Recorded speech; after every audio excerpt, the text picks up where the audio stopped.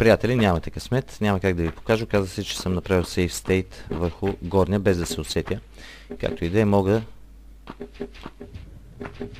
мога да ви обясня. Един вид мога да ви покажа. Значи ще ви кажа какво трябва да направим. Когато паднем, ще паднем точно на тази наклонена плоскост пред мен. Просто трябва да скокнем назад, когато паднем. Да предположим, че ако скокна напред, ето това движение просто трябва да го направим. И виждате малко по-лесничко, това имах предвид. Нека да продължим сега с играта и да видим какви още изненади ни чакат. Мисля, че се сетих. Натискайки тази ръчка,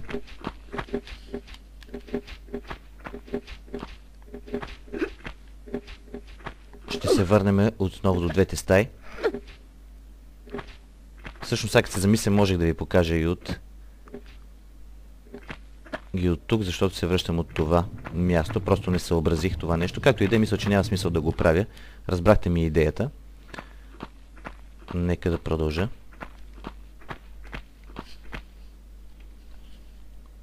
Още една зона. Която никак не е лесна, между другото. Тук ще стане доста голямо. Клане с сузите съм. Това е добре. Ще ви кажа. Както не веднъж съм ви казал, че когато пускат на едно място много амуниции, никога не е на добре. Това означава, че ще имаме по-голяма битка. 400 патрона. Така, тук има кентавър в тази жълта топка. Мисля, че в мига, в който се спука и една от тези ще се спука и ще се бие с...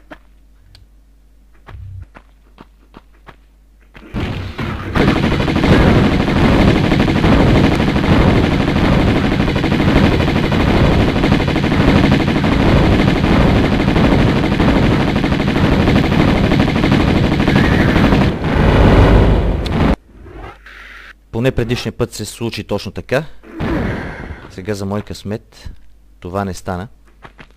Както и да е, все пак кентавъра ме изненада и успя да вземе своето. Хайде. Добре, може би трябва... Ще се спукат след като натисна тази ръчка.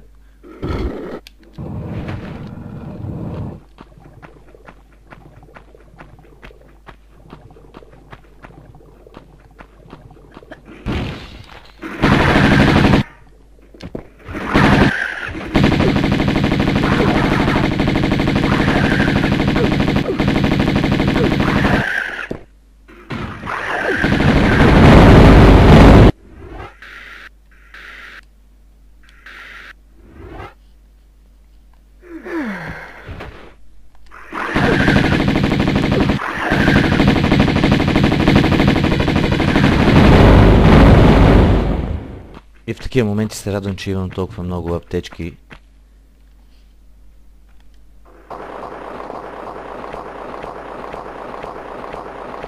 Продължаваме надолу с играта. Какво подявате? Това е много интересна зона. Ако ме чувате от тътена на пистолетите, убиваме тези два ликара. И каквото и да правите, друга, другия човек не го убивайте, само ликара. Никога не стреляйте под тази фигура. Това всъщност е наш оригинален образ. Нека да ви покажа. Ще направи точно това, което правим ние. Когато стреляте нея, тя стреля вас. Вижте ми кръвта горе. Или енергията, с други думи.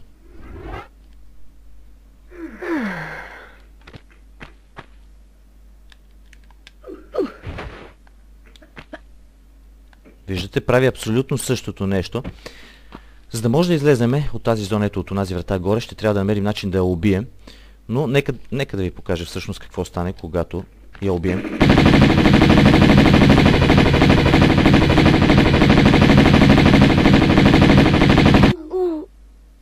Логично. Логично умираме и ние. Та, не само, не само човека, но цялата тази стая е огледална от половината. Виждате, тези скали там горе се използват, за да скочим ето на онази платформа, а тези светлите тук, за да скочим на тази бяла платформа. И как ще се отървеме сега от този наш призрак, този... Това ми прилича по-скоро на извънземно в Атлантида. Точно копия на Лара Крофт като структура, не и като визия. Какво трябва да направим? Първо трябва да дойдем ето така. Както ви казах, тя копира всяка една, всяко едно наше действие. Идваме тук, скачаме отгоре, обръщаме се. Идваме до тази платформа и натискаме тази ръчка, която ще отвори тази пещ. Тази дупка, в която има лава долу. Сега трябва да я накараме, просто да стъпиме ние на нейното място и тя да падне нея. За тази цел идваме ето тук.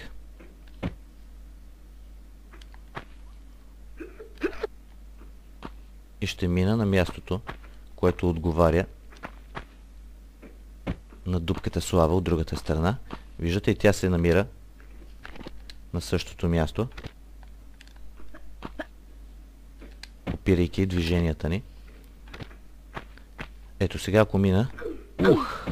И ето така, когато падна на тази плоча пред мен, нека да ви покажа какво ще стане. Сайонара, пиги. Добре, не е толкова ефективно, колкото си помислих. Значи, оказа се, че вратата всъщност е с таймер. Еми сега нека да я забързам малко тогава.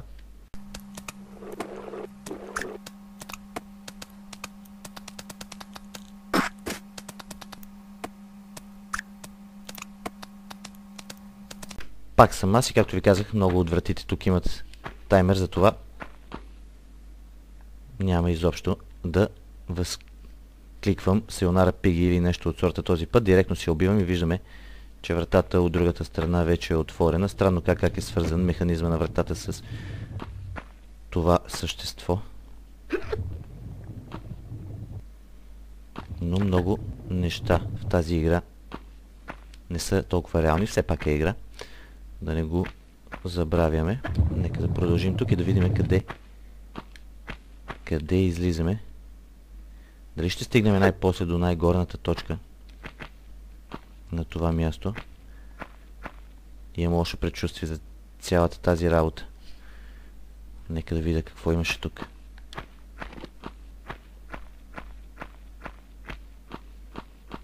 Мисля, че се сещам. Имаше кентавър трябва да внимавам.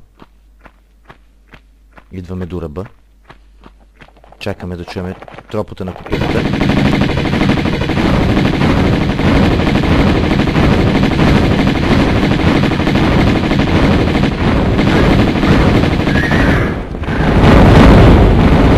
Точно накрая ме удари. Виждате, много е тясно пространството и рискуваме да умрем дори. Мисля, че дори и веднъж ме уби. Идваме до ръба и това е общо взето тактиката, за да може да скачаме без да се биеме в стените. Както и да е, мисля, че тук някъде има и един ликър, който не трябва също да подценявам.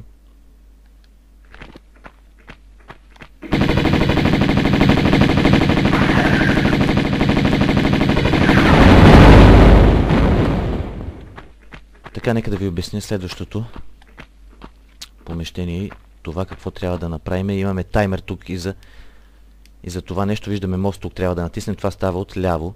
Има ръчка, вдясно има друга ръчка, която... Не съм сигурен какво правеше тя, но съм сигурен, че първо трябваше да натиснем нея. Тук има и врата замаскирана. Това ще стане, ако на по-късен етап в играта изберем грешния избор. Ще се върнем тук просто, за да преминем отново. Ако се чуете за какво е натискаме, а тези звуци, тези звуци, които се чуват, когато стигнем до тези две ръчки, всъщност са от Скион или Скайън, предмета, артефакта, който издираме през цялата игра. Спомняте си, че това ниво започна с реклама, кратка реклама, на която НАТО поставя поставя, първо вземем амунициите между другото, тъй като ще имаме много малко време за да стъпиме на моста.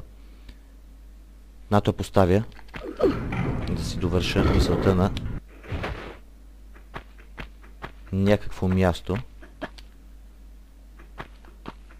И аз точно не знае как да го определя това нещо. сега ще видите, ето, на тази платформа, която издава този звук.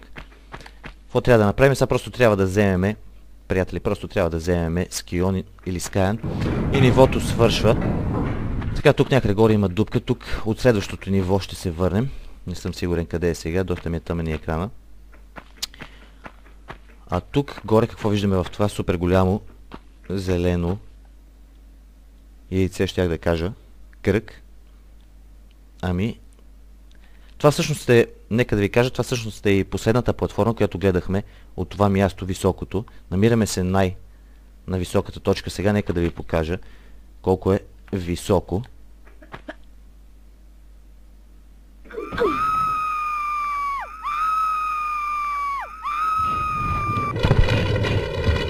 Високо е като за три писъка, да го кажем. Та можем сега всъщност да скокнем ето до тази зона и после ще се върнем, ще се отвори една врата в стената, ето я там долу, мисля, че се прозира през графиката и ще се върнем през вратата, която ви посочих по-рано, че ако изберем този грешен вариант, просто ще се разкараме допълнително, няма да намерим нищо интересно. Аз няма да ви държа в неведение, тук ще се биеме с един доста огромен гад, само че в другото видео, а сега ще гледаме една кратка, не толкова кратка, анимация с вас, за това как ще се развие историята. Аз не съм сигурен, тъй като преди малко го минах, но беше на френски. После като сгубя клипа ще сложа английско аудио и ще го преведа. Така с вас ще се видиме в следващото видео. Дано да ви харесва играта. Аз съм Цолф и ви пожелавам приятна игра.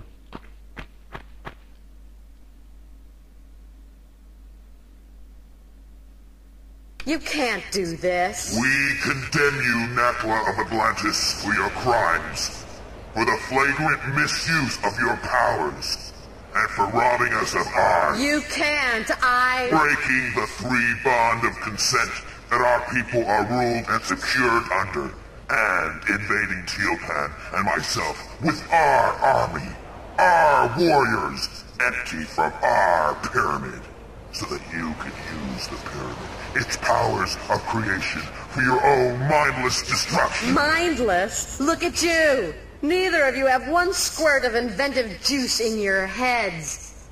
Wasters. Let's just do it. Tihokan! You use the sacramental place as a source of individual pleasure, as some freak factory, They're survivalists, a new generation. a slaughter heap now. And you, we're gonna lock you in limbo. Make your veins, heart, feet, and that diseased brain stick solid with frozen blood. Greet your eternal unrest, Natla! You won't rest either, or your damned continent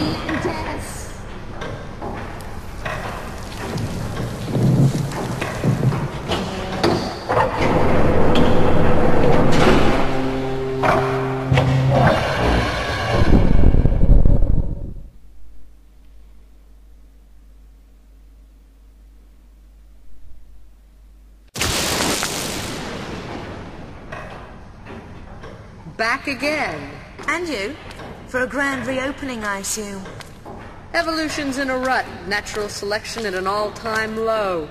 Shipping out fresh meat will incite territorial rages again, will strengthen and advance us, even create new breeds. Kind of evolution on steroids, then. A kick in the pants. Those runts Qualapec and Tihocan had no idea. The cataclysm of Atlantis struck a race of languoring wimps, plummeted them to the very basics of survival again. It shouldn't happen like that. Or like this. Hatching commences in 15 seconds. Too late for abortions now. Not without the heart of the operation. No! 10,